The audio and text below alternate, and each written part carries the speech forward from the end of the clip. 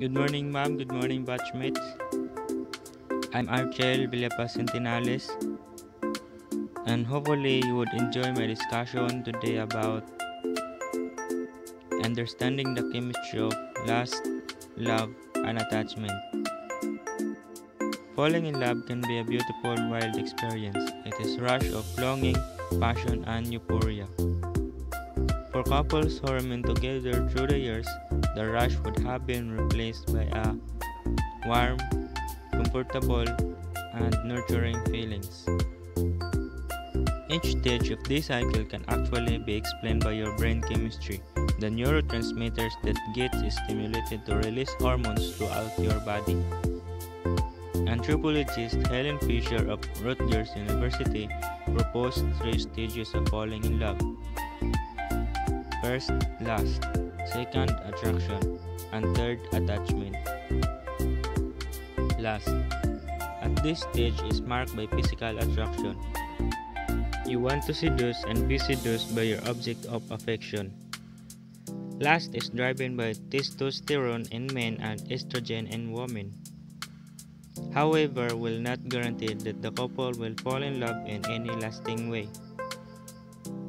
Attraction At this stage, you begin to crave for your partner's presence. You feel excitement and energetic as you fantasize about the things you could do together as a couple. There are three chemicals that trigger this feeling. Norepinephrine, responsible for the extra surge of energy and triggers increased heart rate, loss of appetite, as well as the desired sleep. Your body is in a more alert state and is ready for action. Dopamine, associated with motivation and goal-directed behavior, it makes you pursue your object of affection.